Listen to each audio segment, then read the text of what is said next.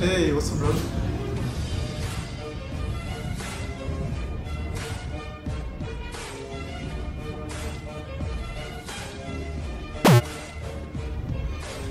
All good, man. All good. What about you? Great. Excuse me.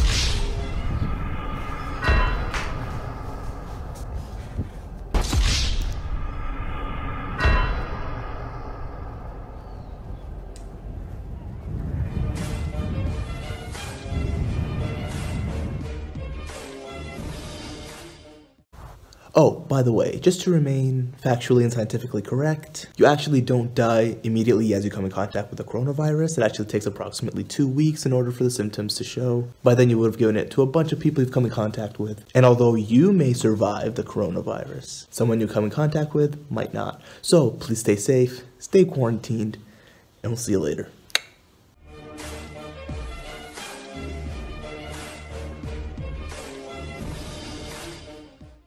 Thank you very much for watching. Please remember to like and share this video. Support me by subscribing to my channel. And until next time, I'm that Muslim guy. Assalamu alaikum.